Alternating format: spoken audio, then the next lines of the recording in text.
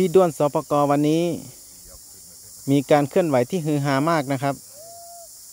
ในช่วงเช้าก็ไปวิ่ง มินิมาราธอนเพื่อผู้พิทักษ์ป่า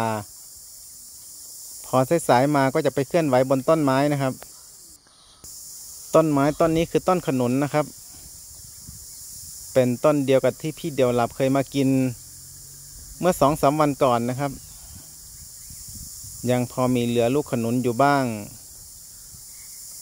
พีด้วนของเราก็ต้องมาเคลื่อนไหวนะครับ สถานที่แห่งนี้คือที่สปก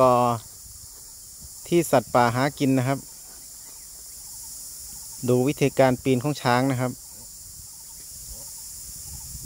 นี่คือครั้งแรกที่เราเจอพฤติกรรมแบบนี้นะครับ มีเขย่านะครับ ไม่มีลูกขนุนหล่นนะครับ จึงต้องปีนขึ้นไปแบบนี้